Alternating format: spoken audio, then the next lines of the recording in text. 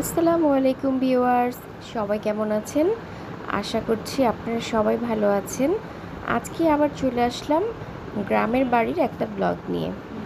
তো গ্রামের বাড়িতে যাওয়ার পর সবাই বলতেছিল যে, যেহেতু বৃষ্টির পর আমরা এখানে একদিন, দুই দিনের জন্য এসেছি গ্রামের যে হাট, বাজার, সেগুলো একটু ঘুরে দেখে আসি। তো আমরা সেই যে কথা, সেই কাজ আমরা চলে আসলাম বাড়ির বাইরে, রাস্তা দিয়ে হাঁটছি। সুন্দর প্রকৃতি। কিছুক্ষণ আগে যে এত পরিমাণ বৃষ্টি হয়েছে, সেটা পরিবেশ বা রাস্তায় নামলে বোঝা যাচ্ছে না, কারণ পানিগুলো কেন জানি শুষে গেছে। আর গাছগুলো কি সুন্দর তাজা সবুজ দেখাচ্ছে। এখানে তো ওরকম এডিট করা নাই, এটা কিন্তু একেবারে যে প্রকৃতির যেরকম ন্যাচারাল সেটাই। তো বৃষ্টি নামার পরে কিন্তু গাছগুলো, সবুজ পাতাগুলো দেখতে বেশ সুন্দর লাগে। তো আমরা সেই পথ ধরেই গ্রামের আঁকা বাঁকা মেঠো পথ, মাটির রাস্তা দিয়ে হাঁটছি। হাঁটতে খুব ভালো লাগছে কারণ সচরাচর এইভাবে করে বা অনেক বছর বড় হওয়ার পর বড় হলে যে একটা ফিল থাকে, যে একটা অনুভূতি থাকে, গ্রামের রাস্তাগুলো দিয়ে হাঁটার বা গ্রামের পরিবেশকে ভালো করে অনুভব করার সেই অনুভব এখন হচ্ছে। কারণ আমরা খুব বেশি গ্রামে যাই না, থাকি না।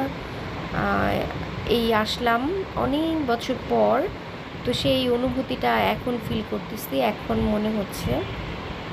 তো ভালো লাগছে। এই যে আমার হাজব্যান্ড আমার পাশে ইনি হচ্ছেন খুবই ভদ্র মানুষ, কথাবার্তা কম বলে, শুধু চুপচাপ হাঁটে আর চারপাশে সব কিছু দেখে।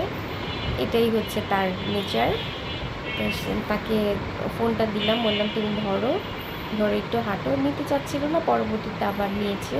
উনি কিন্তু খুব সুন্দর করে ভিডিও করতে পারে। তো আমি যখন বলে দিই একটু এডিট করে দাও বা কোনো কিছু করে দাও, তখন কিন্তু করতে চায় না। নিজে যদি করো, তখন ঠিকই সুন্দর করে করে। এই যে আমরা এই রাস্তা দিয়ে হাঁটছিলাম, হাঁটতে হাঁটতে এখন আমরা কুমার বাড়ির পাশ দিয়ে যাব, ওই যে কামার কুমার বলে যে। ওইখান দিয়ে যাব। ওনারা হচ্ছে, এই কী সুন্দর রাস্তা, রাস্তার মোড় আর হচ্ছে জঙ্গল। এই জঙ্গল কি ঢাকায় পাওয়া যায়? রাস্তা মাটির রাস্তা। এগুলো আসলে অন্যরকমভাবে ভালো লাগে। এটা হচ্ছে যে হিন্দু, এই জায়গাটার বেশিরভাগ মানুষগুলো এই সম্ভবত এই যে আমরা যেখান হাঁটছি, বেশিরভাগ মানুষগুলোই হিন্দু বাড়ি এখানে। অনেকখানি জায়গা জুড়ে এখানে হিন্দুরা বসবাস করে। এটা সম্ভবত অনেক বছর আগের হিন্দুদের কোনো কিছু হবে পূজা পূজা করতে করতো তো এখন বোধহয় আর করে না, পরিত্যক্ত অবস্থায় পড়ে আছে। কালের পরিবর্তনে এখানে তারা এখন আর পূজা করে না। হয়তো দেখলাম যে ওখানে উঠে দিয়ে বাড়ির ভেতরেই বেশ সুন্দর মন্দির আছে। ওখানেই সম্ভবত তারা করে। আর এখানে আমরা একটু পর পরে হাঁটছিলাম আর দেখছিলাম যে ইয়ে আপনার হিন্দু বাড়ি। এই যে হচ্ছে কুমার বাড়ি এখানে ইয়ে করা হয়। এই যে মাটির হাঁড়ি পাতিল বানানো হয়, তো আমি ওনাদেরকে বললাম যে, আপনারা কি মগ বা কাপ বানান? ওনারা বলল, মগ বা কাপ বানাইতে একটু সময় লাগে, তাই হচ্ছে আমরা ওগুলো বানাই না। কেউ অর্ডার দিলে বানাই দিই। তো আমি বললাম, আমি যদি আজকে বিকালে এখন অর্ডার দিই, আপনি কি আমাকে কালকে বিকালে দিতে পারবেন? আমরা তো কালকে বিকালে চলে যাব। পরে বলছে যে, না, এত তাড়াতাড়ি পারব না, একটু সময় লাগবে। তো আর কি হইল আর না হয় নাই, ভাবছিলাম ওনাদের কাছ থেকে যদি নিতে পারতাম, খুব ভালো লাগতো। এই আর কি মাটির জিনিস, এখন তো খুবই ভালো লাগে। আমার কাছে অন্তত অনেক ভালো লাগে মাটির জিনিস, কিন্তু প্রচুর দাম। তারপর হচ্ছে আমরা এই বাড়িটা একটু ঘুরে দেখলাম হিন্দু বাড়ি। আর হচ্ছে এই যে এখানে একটা ছোট্ট আম গাছ। আম গাছের মধ্যে দুইটা আম মাত্র। এটা হচ্ছে কিশোরী আম গাছ, মাত্র বাচ্চা আম গাছ, মাত্র। বড় হয়েছে বড় হওয়ার মাত্রই দুইটা ফল দিয়েছে। একটা হচ্ছে ওই যে, আর এটা হচ্ছে সবুজ হলুদ ব্যাগ দিয়ে ওটাকে ঢেকে রেখেছে। ওটা মনে হয় বড় আর এটা হচ্ছে ছোট। কিন্তু বড় তাহলে কত বড় ওইটা? বিশাল বড় আকারের আম ওটা, সম্ভবত ফজলি আম।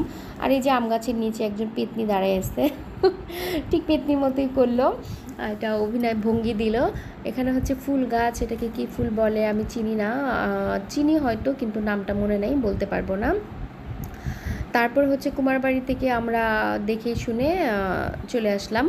ওখান থেকে আমরা কিছু নেওয়ার চেষ্টা করেছিলাম। বিশেষ কিছু নাই থালা বাটি প্লেট, মগ, এগুলো কিছু নাই। ওখানে শুধু দইয়ের বাটি বানানো হচ্ছিল, দেখলাম। তো আমরা ওখান থেকে বের হয়ে রাস্তা ধরে হাঁটছিলাম। হাঁটতে হাঁটতে আমরা একটা জায়গায় যাব, সেটা হচ্ছে, এখন বলব না, আমরা যখন যাব তখন ওই জায়গাটা আপনারা দেখতে পাবেন। এই যে আমি বলছিলাম না, আশেপাশে হচ্ছে হিন্দু বাড়ি ওই এলাকাটাই হচ্ছে হিন্দু এলাকায় যেখানে হচ্ছে ওনাদের সরস্বতী পূজা হয় সম্ভব, সম্ভবত না, সরস্বতী পূজা হয়, ওইটা হচ্ছে সরস্বতী মূর্তি। তো এই যে মূর্তিটাকে আমরা বেশ কাছ থেকে নিলাম, এই যে এখানে সাজানো গোছানো ছিল, সম্ভবত পূজা শেষ হয়ে গেছে, তাই হচ্ছে এরকম অগোছালো অবস্থায় আছে। তো এখানে আর আরও কয়েক জায়গায় আমরা দেখেছি, ওগুলো নেই নি এই যে বললাম না, আমরা একটা সুন্দর জায়গায় যাব, যে জায়গায় যাচ্ছি সেটা বলব না, সেই জায়গায় চলে এসেছি। এখানে হচ্ছে একটা জায়গা আছে, যেখানে প্রচুর পরিমাণ বানর থাকে। আর বানরগুলো খোলাভাবে থাকে, এখানে বানর কোনো খাঁচা বা কোনো কিছুর মধ্যে থাকে না, এখানে হচ্ছে বানরের রাজত্ব চলে। এই যে বিল্ডিংটার মধ্যে অনেকগুলো বানর। ফার্স্টে তো আমরা দেখি না ওই কর্নারে দুইটা বানর ছিল। পরে আমাদেরকে দেখে, আমরা যেমন ওদেরকে দেখতেছি, ওরাও হচ্ছে আমাদেরকে দেখতেছে। আমরা ওখানে দাঁড়ানোর পর আরও কিছু মানুষের ভিড় জমে গিয়েছিল। পরে আস্তে আস্তে বিভিন্ন জায়গার থেকে লুকানো বানরগুলো বের হয়ে আসতেছিল। ওরা আমাদেরকে দেখতেছিল আর আমরা ওনাদেরকে দেখে, দেখতেছিলাম। তো এই যে, ইনি এসে এখানে যে বসছে, এখান থেকে আর সরে না, রাজামশাই। রাজামশাই এখান থেকে সরছে না। এটাই হচ্ছে মনে হয় সবচেয়ে বড় বানর। হ্যাঁ এটাই সবচেয়ে বড় বড়। আর বাকিগুলো মাঝারি, ছোট এই টাইপের বানরগুলো, ওই যে তারা পুরা রাজত্ব করতেছে ইয়ে কী বলো এটাকে সানসেটের উপরে। তো ছোট, বড় অনেকগুলো বানর। বানর এখানে আরও অনেক আছে, কিন্তু আমরা এগুলো এই কটা দেখেছিলাম এই বাড়ির এখানে। তো আমার মেয়ে তো ওদেরকে খাবার দেওয়ার জন্য পাগল হয়ে গিয়েছিল। ওখানে আশেপাশে কোনো দোকান খুঁজে পাচ্ছিলাম না, তাই হচ্ছে আমরা ওদেরকে খাবার দিতে পারি নাই। আর সবাই বলতেছিল যে একবার যদি খাবার দিই তাহলে নাকি পিছন পিছন আসবে, এর জন্য হচ্ছে আরও সাহস পাই নাই। আর বানর তো আসলেই ভয় লাগে একটু। তো এই আর কি আমরা এই বানরগুলো দেখছিলাম। খুবই ভালো লাগল। খোলামেলা জায়গা। ওদের ইচ্ছা মতো নাকি কেউ খাবার নিয়ে গেলে সে খাবার কেড়েও নিয়ে যায়। আবার ওদেরকে দেয় সবাই। আবার কারও বাড়ির ভিতরে ঢুকে যায়। এই বানরগুলো নাকি এই তাণ্ডব করে বেড়ায় ওখানে। এগুলো হচ্ছে ওখানকার একটা ভালো লাগার জায়গা যেখানে আসলে বানর দেখা যায় এই জায়গাটা।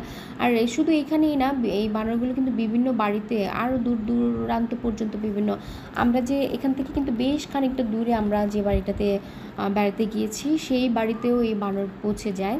মানে ওরা অনেকখানি জায়গা জুড়ে ওদের রাজত্ব চালায়। তারপর আর কি, দেখে শুনে, দেখে আমরা চলে আসলাম এখন হচ্ছে আমরা একটা ব্রিজ দিয়ে পার হলাম। এটা হচ্ছে কৃষ্ণচূড়া গাছ।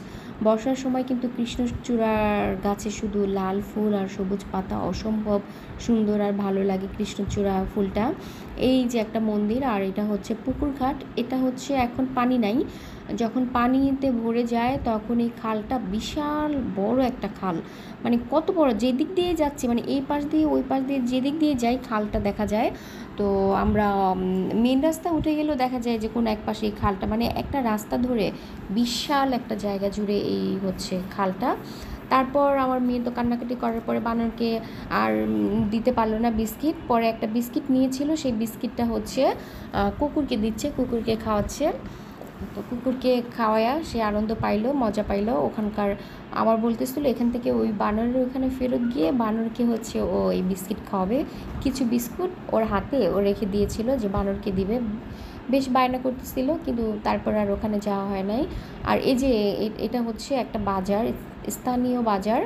এখানে হচ্ছে এই যে মূর্তি, এখানে পূজা হয়, সম্ভবত ছোটো মোটো একটা মন্দির এখানে।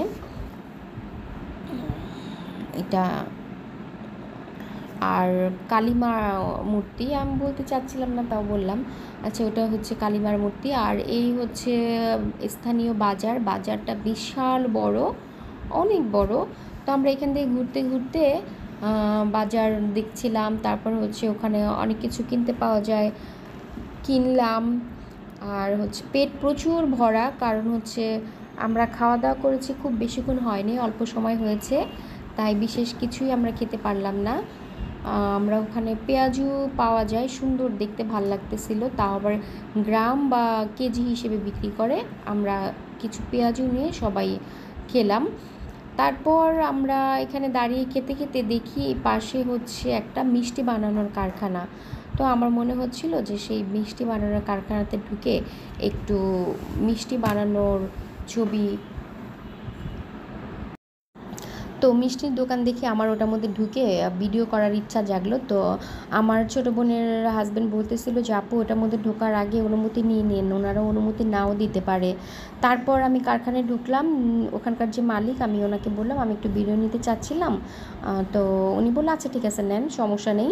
উনি আমাকে বলল যে এখান থেকে নেন, এই যে এখানে রান্না হচ্ছে তো ভালোই আমাদের সাথে ভালো ব্যবহারই করল।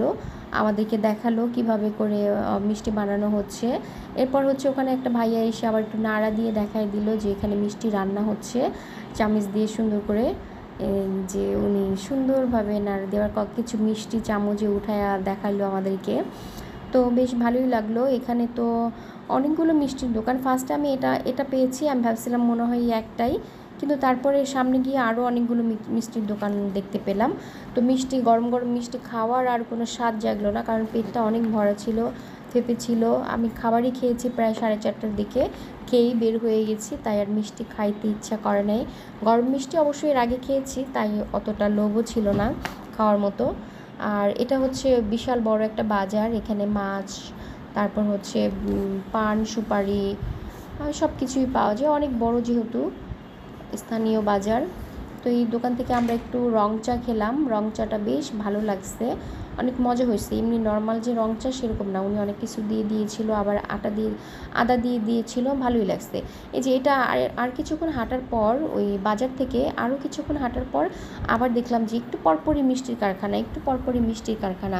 পরে এখানেও একটা কারখানায় ঢুকে পড়লাম। এই যে এখানে আবার বড় বড় দুইটা চুলা, দুমুখী চুলা।